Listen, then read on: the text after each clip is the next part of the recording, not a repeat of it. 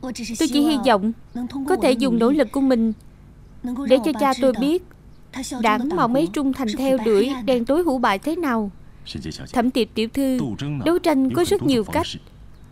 Cô đừng đột nhiên biến thành một người khác Ở trước mặt cha cô。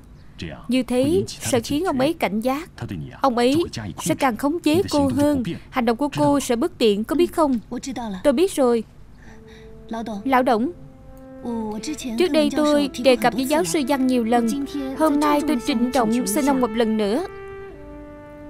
Tôi mong muốn mình có thể tham gia vào đảng Cộng sản Trung Quốc. Được, tôi sẽ nghiêm túc suy nghĩ yêu cầu của cô. Đưa máy cho thẩm kính trai, Nga Mi. Thẩm kính trai Anh nghe rõ cho tôi. Lập tức thả văn mộc ra Đã xảy ra chuyện gì? Cục trưởng Văn phòng làm việc bắt lộ quân người ta Không biết làm sao biết được toàn bộ kế hoạch hành động chính xác của các anh. Chính thức yêu cầu chúng ta phải thả con tin. Quỹ viên trưởng đang rất nóng giận. Chuyện đến bước này Thời gian, địa điểm, danh sách nhân viên cụ thể đều rõ mồng một. Chúng ta có thể không thả người sau. Thực sự là trộm gà không được còn mất nắm thóc Suốt cuộc là chuyện thế nào? Chuyện như vậy tôi còn muốn hỏi anh đấy. Bắt phần tử kiến chế mà làm thành ra như vậy Vậy bắt phần tử đảng Cộng sản thì sao? Quá vô năng. Cục trưởng, Tôi dám đảm bảo với anh, Tin tức không phải truyền ra từ chỗ của tôi. Danh sách, xác thực của kế hoạch này và văn kiện bắt đối tượng Giờ vẫn còn khóa trong tủ của tôi, Không ai xem được. Anh cho rằng như vậy là không có chút sơ hở sao? Tôi mặc kệ anh làm sao, Lập tức thả người cho tôi. Anh suy nghĩ cho kỹ đi.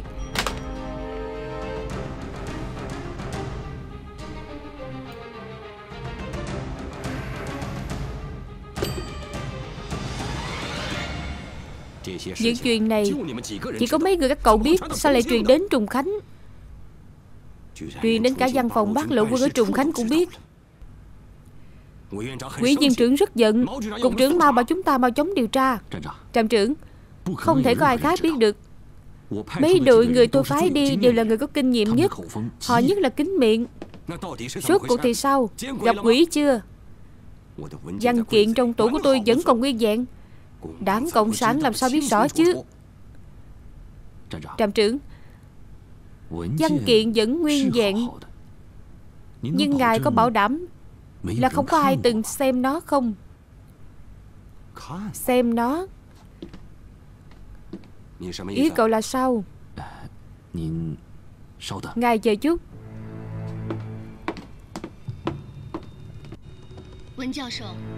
Giáo sư Văn ông nói xem Người Nhật hiện giờ đang ở quốc gia của chúng ta hoành hành bá đạo. Tại sao quỹ viên trưởng còn nói Muốn giết ngoại phải ăn nội trước? Họ đang nghĩ gì vậy? Đảng quốc dân không có tiến triển trong kháng chiến làm mất lòng dân. Đảng Cộng sản kiên trì với đường lối quần chúng Cải cách ruộng đất, đánh du kích Giành được lòng dân. Tưởng giới thà rất bất an về chuyện này. Ông ta bề ngoài là cùng nhau kháng Nhật, Nhưng thực tế lại muốn diệt đảng Cộng sản ngay sau đó. Giết ngoại phải ăn nội trước. Lời như thế Chính là miêu tả chân thật cho chuyện ông ta nói Một đằng là một nẻo. Nhưng cho dù chúng ta có bất mãn nhiều hơn nữa, Thì cũng không thể biểu đạt được tiếng lòng của chúng ta, Vì chúng ta không có cách nào để tham gia vào quyết sách của chính phủ. Đó là vì Trung Quốc không có dân chủ thực sự, Giống như chuyện thất quân tử. Tưởng với Thạch nói một đằng là một nẻo, vẻ mặt ghê tởm bộc lộ không sót gì. Trạm trưởng Số cuộc là thế nào? Chúng tôi còn nghe được rất nhiều lời bàn luận còn quá đáng hơn thế này của thẩm tiểu thư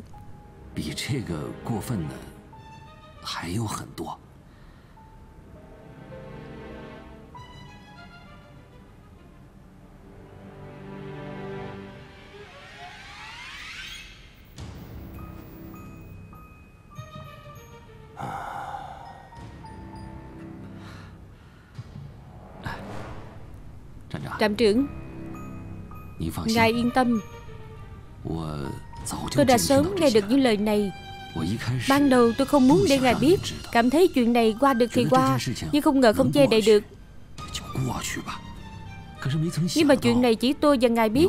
Nó sẽ dừng lại ở đây thôi. Tôi sẽ không đem nó để nói ra ngoài đâu 就让他到此为止吧。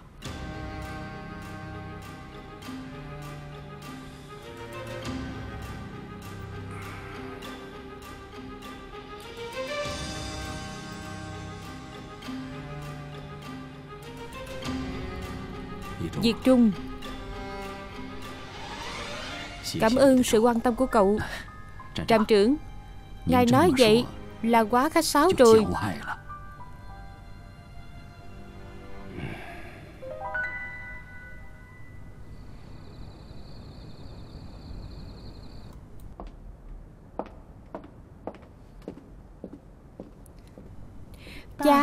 Cha tìm con.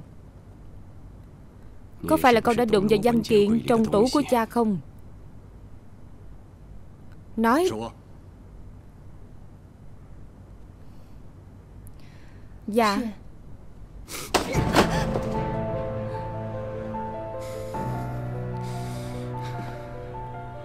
Cha thực sự không ngờ. Con không hiểu chuyện như vậy. Tại sao lại đụng vào văn kiện của cha là ai bảo con lấy? Là ai chỉ thị cho con? Đảng Cộng sản, Con hiểu rõ không? Con nói đi. Bên cha làm việc không ngay thẳng, Đương nhiên con phải chạch trần rồi. Ai vậy con nói như lời này?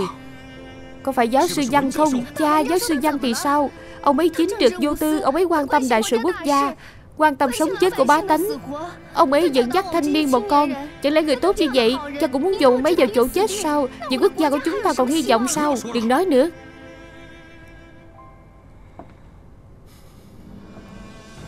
Cha đã già rồi. Làm gì cũng đã lực bất tòng tâm. Tất cả những chuyện cha làm Đều là vì con, Vì để cho con có một tương lai tốt. Nếu con nhìn không quen thực tại bây giờ thì con có thể ra nước ngoài đi du học. Con không đi. Con đến đâu cũng là người Trung Quốc. Chẳng lẽ con điên rồi sao? Đã có người nhắm vào con rồi. Giờ cha còn có thể bảo vệ con Tránh được những chuyện như giáo sư văn Nhưng cha không dám đảm bảo tương lai. Cha có thể mãi mãi bảo vệ cho con hay không? Con đã lớn rồi Cha đừng bi quan như thế. Tiểu tiệp, tiểu tiệp Chỉ dựa vào câu nói này thì đã nói rõ là con ngây thơ nhường nào. Trên đời này, Cả cha mà con cũng không tin tưởng Thì còn có ai đáng để con tin tưởng đây? Cha sai rồi. Vẫn còn một số tín ngưỡng đáng để tin tưởng. Được. Được. Chúng ta không ai thuyết phục được nhau. Nhưng sau này, Nếu như cha phát hiện con lại đụng vào văn kiện của cha thì dù con là con gái của cha, Cũng đừng trách cha không nể mặt lưu tình.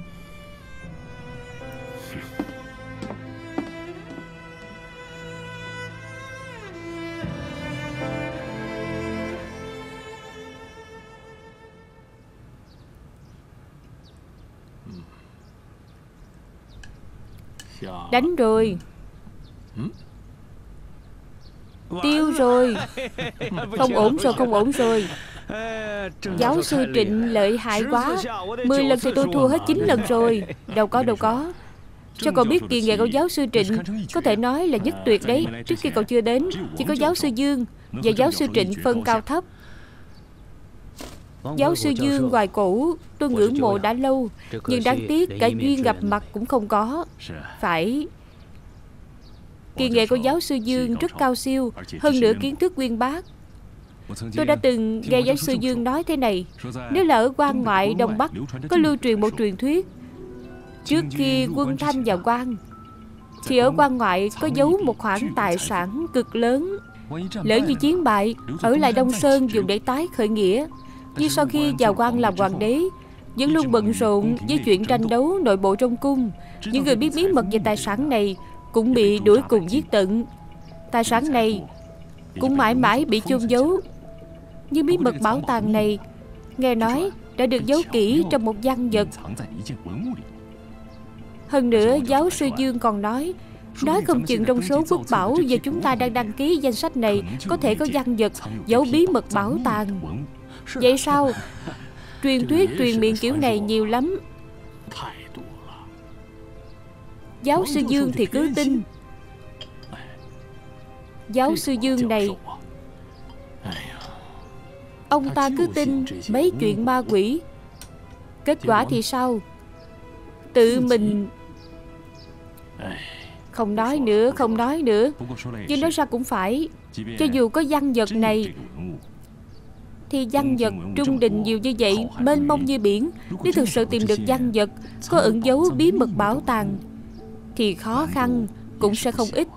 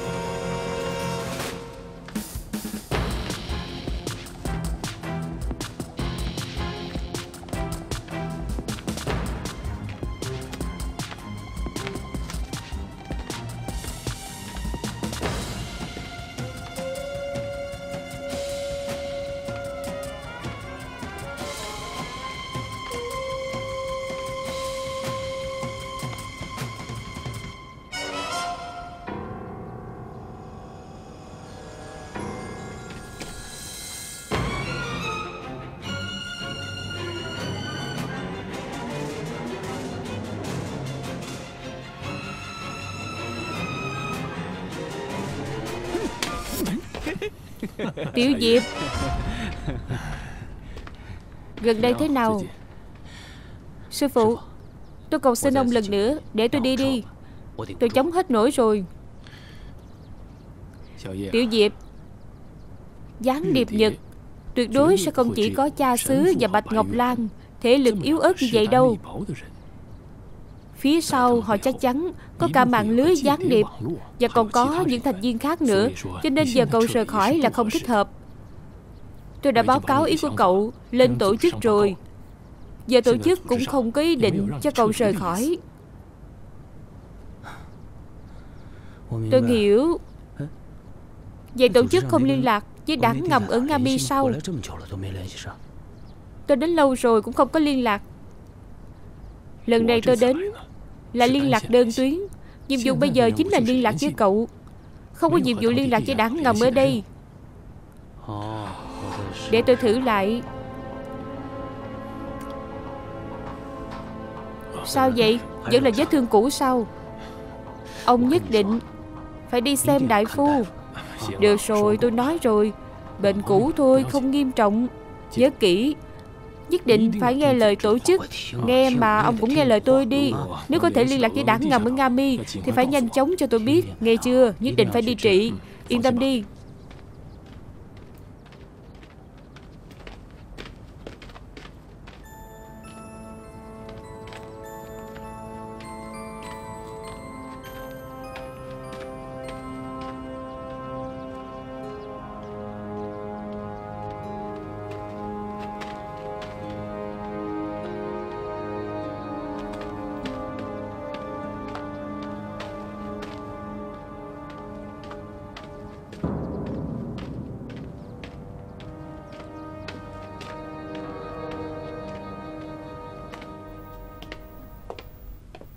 Có tình báo quan trọng muốn nói với cô. Ông nghe thấy gì ở đài phát thanh sau Trương Kim Thạch qua lại với người thế nào? Sao rồi? Hôm nay cậu ta tới. Tự nhiên hỏi Chuyện đằng sau của dấu ấn nổ nhĩ cấp xích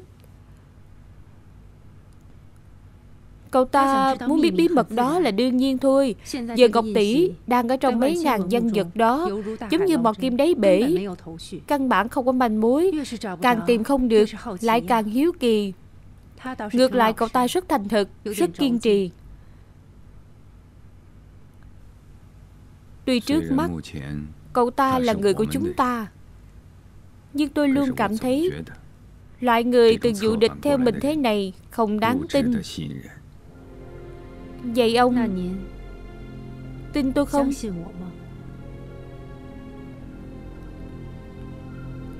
Người duy nhất tôi tin chính là cô.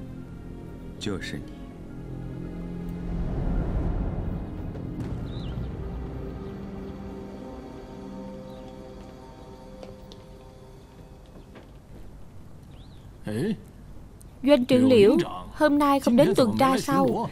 Doanh trưởng Liễu rất kính nghiệp. Ngày nào cũng hận không thể thử hết Đồ ăn của chúng ta Để tránh chúng ta bị đầu độc. Thứ chúng ta đang tạo danh sách Chính là quốc bảo của Hoàng Cung Đồ ăn đương nhiên. Cũng phải được hưởng đãi ngộ ngự thiện mới đúng chứ. Phải đấy Dưa muối năm xưa của chúng ta Không có một con dòi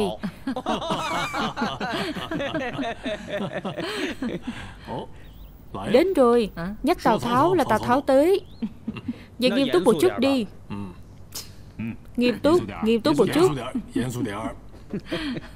Tòa nhà này khá cao Gió mát Cũng khá là khô sáo.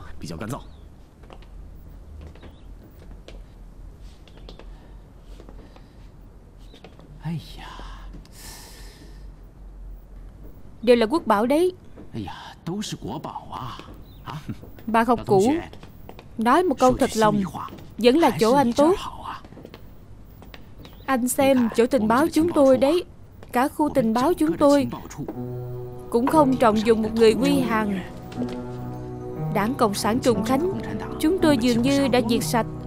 Thành đô cũng diệt hơn một nửa. Mấy tiểu tử đội hành động Ngơ ngác không phục. Hơn nữa, Cộng đảng Quy Hàng cũng là chúng tôi bắt được. Giờ không phải hợp tác với Trung Cộng Cùng nhau chống Nhật rồi sao? Đó chỉ là chuyện bề ngoài. Nếu thực sự liên kết chống Nhật Sao trong quân đội, trong cục cảnh sát Lại có nhiều đội dẹp loạn Đội quét gian thế? Mấy người ở đảng Cộng sản Sẽ không phản kháng đúng không? Nói thế nào thì họ Cũng không phải quân chính quy gì. Chúng tôi có cách bắt họ chịu tội trước pháp luật. Giết đám đảng Cộng sản này mới gọi là đã ghiền. Chúng tôi giống như thần binh trên trời hạ trần. Họ còn không kịp hồi thần đấy. Gà nhà đá nhau, Huynh đệ tương tàn. Nhận tiền của người, Thay người dẹp loạn. Chúng ta vì đảng quốc Làm những chuyện này mà. Cho nên, Đừng nghĩ quá nhiều, lão đồng chí ơi. Qua đó xem thử. Đi.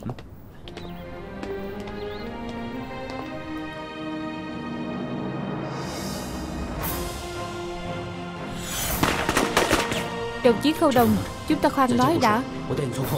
Tôi dẫn ông rời khỏi từ cửa sau. Cả trạm tình báo chúng tôi Không trọng dụng một ai quy hàng. Cả đảng Cộng sản Trùng Khánh Dường như đã bị chúng tôi giết sạch.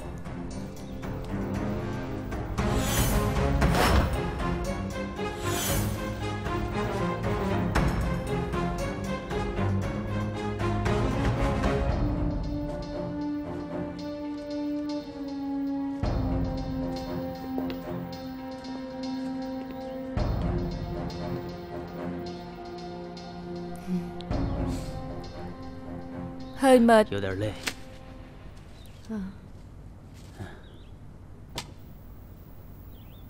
Giáo sư Trương Mời đeo bao tay.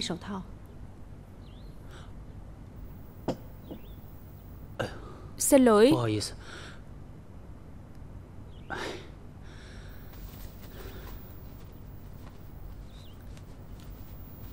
Hai hôm nay ngủ không đủ Lần sau sẽ không như vậy nữa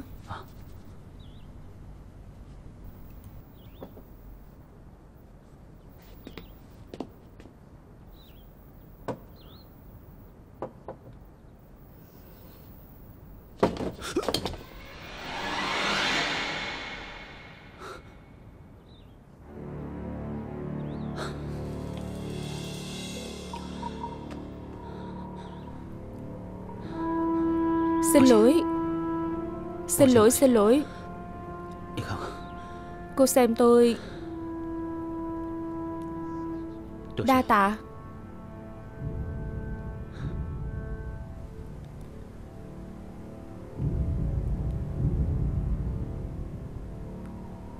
Tổng bộ vừa gửi điện báo mật Trách cứ chúng ta Làm chậm trễ kế hoạch long mạch.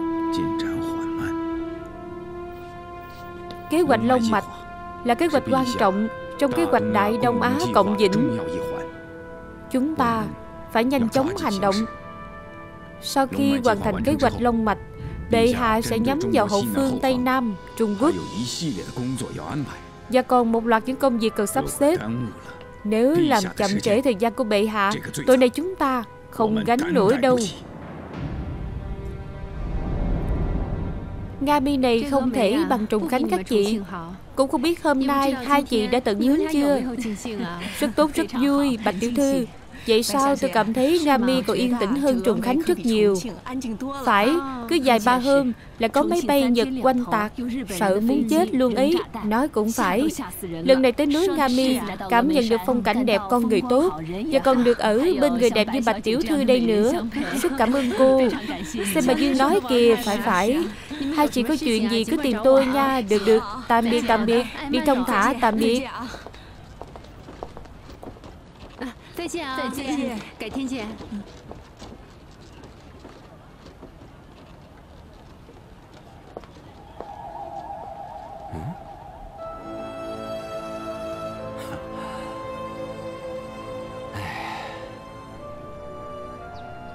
Xem ra vẫn là sơ hở trong công tác của tôi Cô với các vị chuyên gia đều là người nói khác Ngoài công việc thì sẽ rất cô đơn Sắp xếp tốt cho cuộc sống làm việc của các cô cũng rất quan trọng.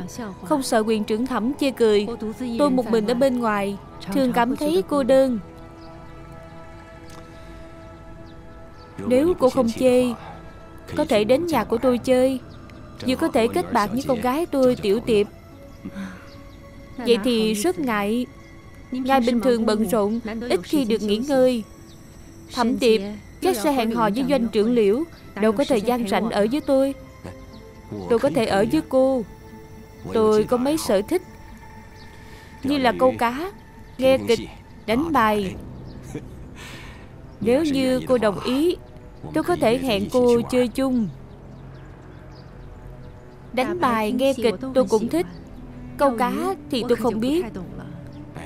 Câu cá rất đơn giản Tôi có thể dạy cô. Vậy sao?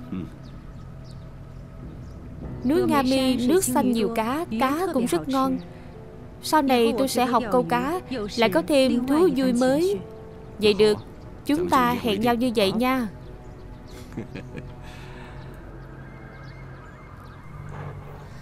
Thẩm Tiệp Tiểu Sa Tôi nghe nói giáo sư Văn về rồi. Thật sự tốt quá Tôi muốn đến thăm ông ấy. Sức khỏe của ông ấy không tốt Cô về trước đi Tiểu Sa Có phải là có hiểu lầm gì không? Cô về trước đi Tôi phải đóng cửa.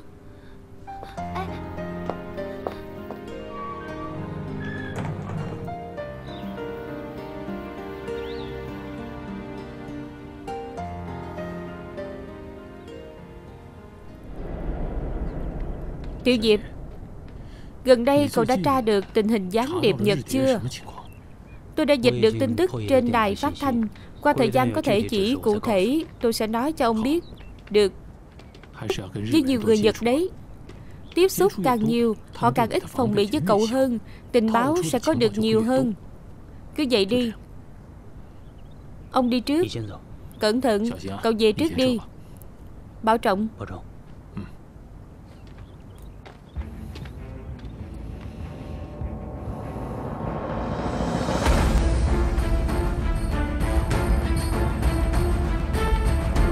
được thuyết minh bởi San TV. Chúc các bạn xem phim vui vẻ.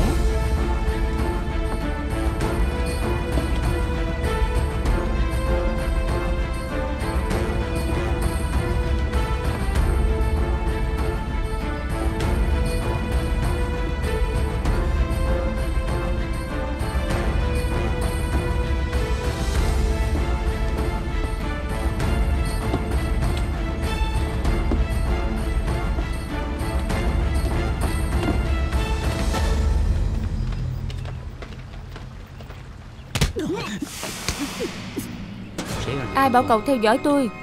Trạm trưởng thẩm bảo tôi theo dõi sở trưởng Dương. Ai là sở trưởng Dương? Người trong xưởng gạch với anh. Tại sao phải theo dõi ông ấy? Cấp trên nói ông ấy vừa quy hàng, Không đáng tin. Nói lại lần nữa, Cấp trên nói ông ấy vừa quy hàng, Không đáng tin. Còn gì nữa? Tôi cũng không biết Những chuyện khác tôi không biết. Đại ca xin tha mạng. Quốc nạn ập lên đầu. Hại nước hại dân. Chứ chưa hết tội.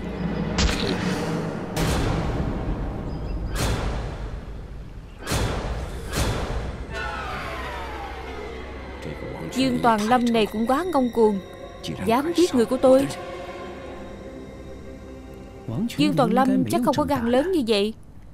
Nếu không phải là có người bày mưu Tính kế mật báo với ông ấy. Ông ấy không có mờ ám Khi giết người của chúng ta để làm gì? Có phải do đội trừ gian của đảng Cộng sản làm hay không? Tôi thấy không giống. Ở Nga Mi có thể có được mấy Cộng sản. Cho dù là có Cũng hiếm ai có thân thủ như thế.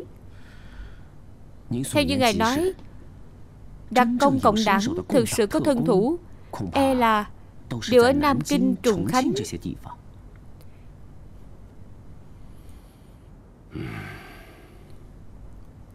Tôi lại muốn xem thử Suốt cuộc họ muốn làm gì?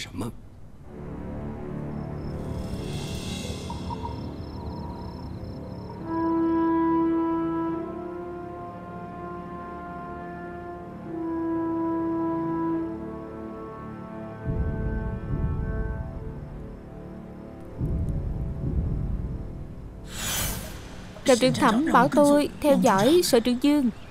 Ai là sở trưởng Dương Người trong xưởng gạch với anh, Tại sao phải theo dõi ông ta? Cấp trên bảo ông ấy vừa quy hàng, Không đáng tin. Nói lại lần nữa, Cấp trên bảo ông ấy vừa quy hàng, Không đáng tin. Sư phụ không thể làm phản được. Tuyệt đối không thể.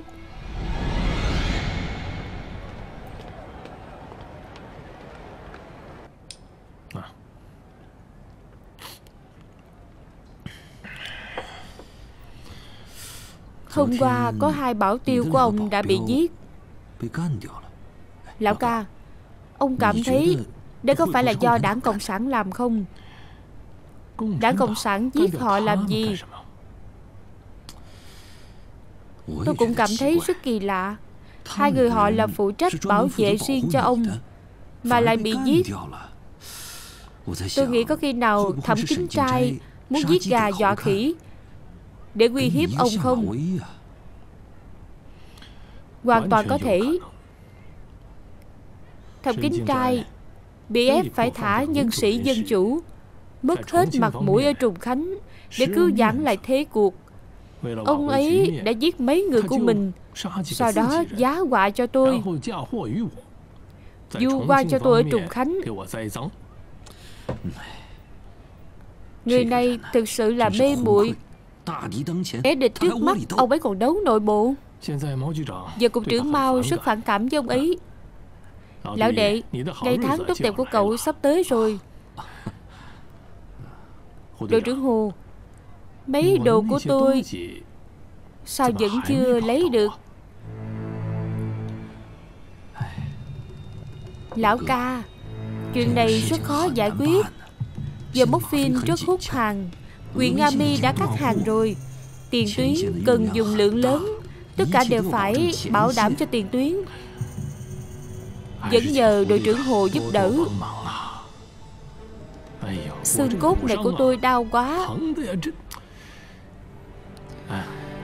Đội trưởng Hồ.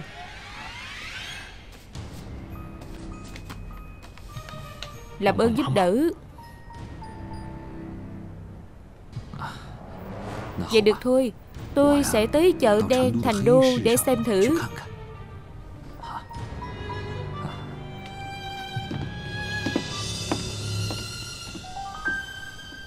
Tôi thực sự rất ghét cha của tôi. Sao vậy? Vì thân phận của ông ấy Nên rất nhiều bạn tôi không muốn để ý đến tôi nữa. Tại sao Anh biết đấy Đợt trước trong quyện Bắt được một nhóm nhân sĩ Dân chủ yêu nước. Có biết một chút? Trong đó có giáo sư Văn Mộc mà tôi rất kính trọng. Hôm qua tôi nghe nói ông ấy được thả ra Tôi rất vui. Tôi lập tức đi thăm ông ấy. Nhưng mà ông ấy không muốn gặp tôi. Tôi biết Chắc chắn là ông ấy đã biết Là cha tôi đi bắt họ Giáo sư Văn này. Tôi có nghe nói Nghe nói ông ấy không lo dạy học Mà chỉ biết dạy học sinh yêu nước Kháng Nhật gì đó. Không chỉ có như vậy Ông ấy còn dạy chúng tôi Đọc vài thư tịch. Là nói về đảng Cộng sản đấy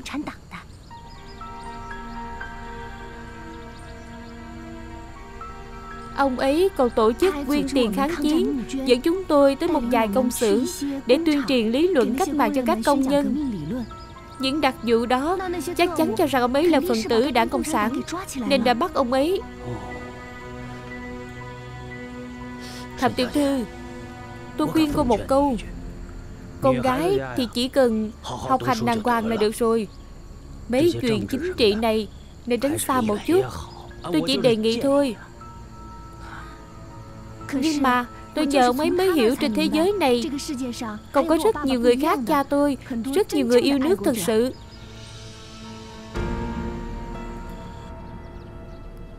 Toàn Lâm Huynh Gần đây anh có điều tra ra được Tiến triển mới nhất của gián điệp Nhật không? Manh mối về gián điệp Nhật Điều tra được một ít Nhưng chuyện trọng đại Tôi phải trực tiếp báo cáo với Cục trưởng Mao Xem ra Toàn Lâm Huynh thông minh hơn người Toàn điều tra được những bí mật động trời. Đâu có. Ba chúng tôi Đều là những người có thể lộ bí mật. Không không không. Trạm trưởng. Không có ý này đâu. Chờ chúng tôi điều tra xong hết Nhất định sẽ báo cáo lại với trạm trưởng. Hơn nữa Tôi tới đây cũng nhờ trạm trưởng ủng hộ công việc của tôi mà. Nhưng mà tôi cảm thấy Đội trưởng Hồ phối hợp làm việc với tôi đó. Chàng trai trẻ này Cậu ấy Luôn muốn dành công lao cho mình. Hơn nữa lại không thành thật cho lắm. Xem ra Trong mắt toàn Lâm Huynh Vấn đề của đội trưởng Hồ không nhỏ nhưng mà, đội trưởng Hồ làm việc với tôi nhiều năm rồi Là do một tay tôi đề bạc Nhưng sao tôi không nhìn ra Cậu ấy có nhiều tật xấu như thế? Phải. Tôi nghĩ anh là cấp trên của cậu ấy, Là anh đề bạc cậu ấy, Có ân với cậu ấy đúng không? Nhưng cậu ấy nói lung tung sau lưng của ông. Tôi đây là người ngoài nhưng tôi cũng cảm thấy buồn bực Cậu trai trẻ này Anh đề bạc thì nên cảm kích anh mới phải Nhưng cậu ấy không biết đủ Hơn nữa còn nói lung tung Điểm này tôi cho là không tốt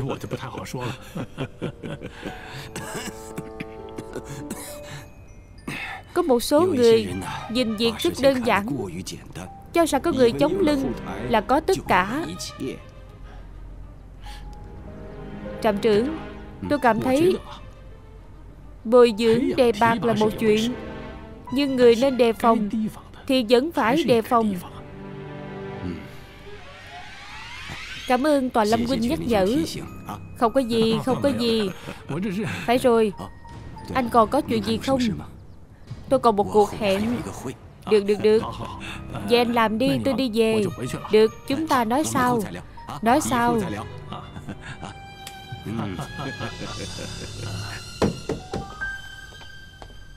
Ai đấy? Cậu tìm ai? Cho hỏi giáo sư Văn có nhà không? Chính là tôi. Ngưỡng mộ đã lâu. Xin chào giáo sư Văn. Tìm tôi có chuyện gì? Tôi là do thẩm tiệp giới thiệu tới. Tôi là người của nhóm tạo danh sách văn vật cố cung. Kẻ hẹn đây là Trương Kim Thạch Vậy có chuyện gì? Tôi có một vài chuyện về học thuật Muốn thỉnh giáo ông. Vậy được. Xin mời vào.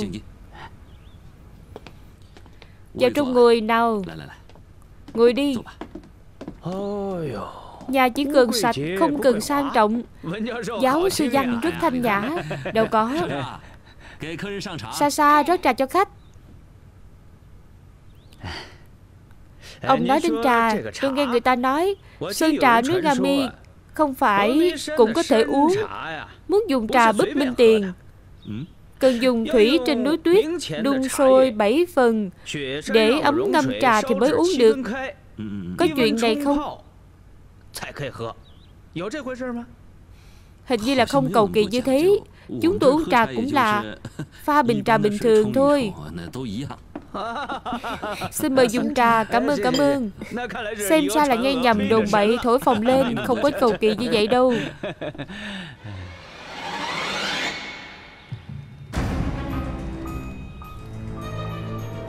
Tôi quên mất. Đến đây Chủ yếu muốn tịnh giáo ông một chuyện. Ông thấy Tôi vừa nhìn đã yêu tứ khố toàn thư Tôi nghe nói ở Nga Mi này Người nghiên cứu tứ khố toàn thư có ông đây. Không không không Vấn đề khá phức tạp một hai câu không thể nói rõ Ông đừng chê tôi lắm lời Tôi sẽ cố gắng nói ngắn gọn Tứ khổ toàn thư này Kinh, sử, tử tập bốn phần Lấy phần tử, kinh làm chính Nổi bật nghiêng về phần kinh Có đúng không?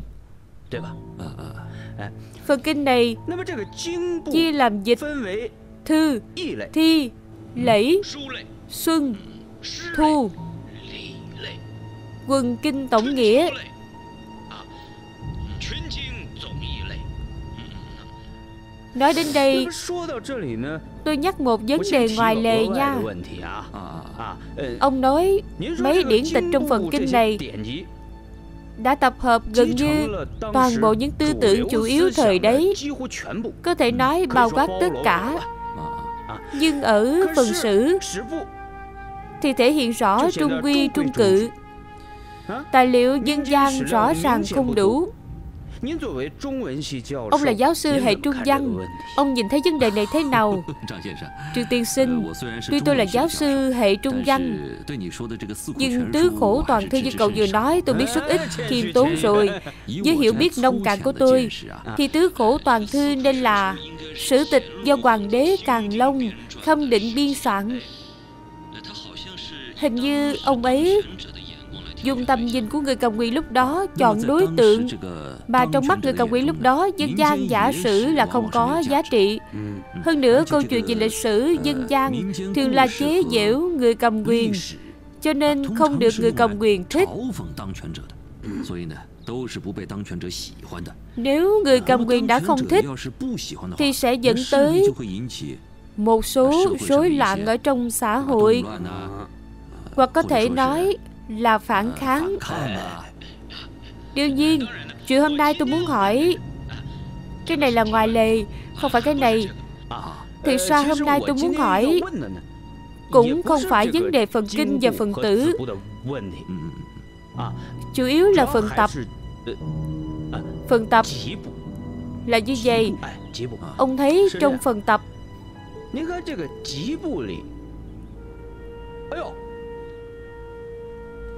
Trong vườn ông có hoa lan kìa.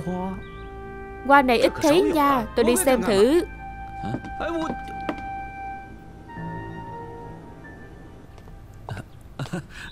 Trương tiên sinh có ý gì đây? Nhà chúng tôi không có hoa lan. Thẩm tiệp cảm thấy rất tủi thân Quế luôn sùng bái ông. Không được ông dạy dỗ Quế rất buồn. Ý cậu là sao? Giáo sư Văn Trọng địa thư phòng Bước bàn chuyện nước. Sau này Có chuyện gì quan trọng? Đừng bàn trong thư phòng. Cáo từ.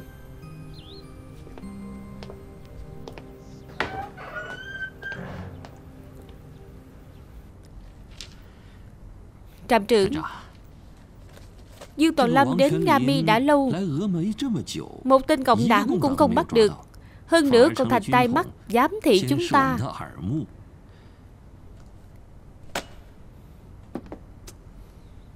Tai mắt này không tồi. Có thể thầy cậu nói mấy lời tốt đẹp Trước mặt cục trưởng mau Dương Toàn Lâm ông ấy chỉ là một nhân viên quy hàng Cục trưởng Mao các ông ấy cũng không tin tưởng.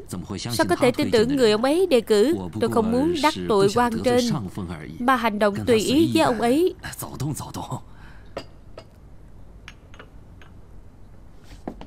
Nghe nói Cậu đã cung cấp morphine cho Dương Toàn Lâm. Cậu suy nghĩ rất chu đáo. Trạm trưởng. Cậu nghe đây. Tôi bồi dưỡng cậu nhiều năm như vậy. Cơ hội gì Lợi ích gì cũng đều nghĩ tới cậu. Nhưng còn cậu thì sao? Trạm trưởng Tôi sai rồi. Nhưng tôi biết Dương Toàn Lâm cần cái này. Tôi chỉ muốn kiếm chút tiền ở trong đó thôi. Tham chút lợi đen thôi. Không đơn giản như vậy.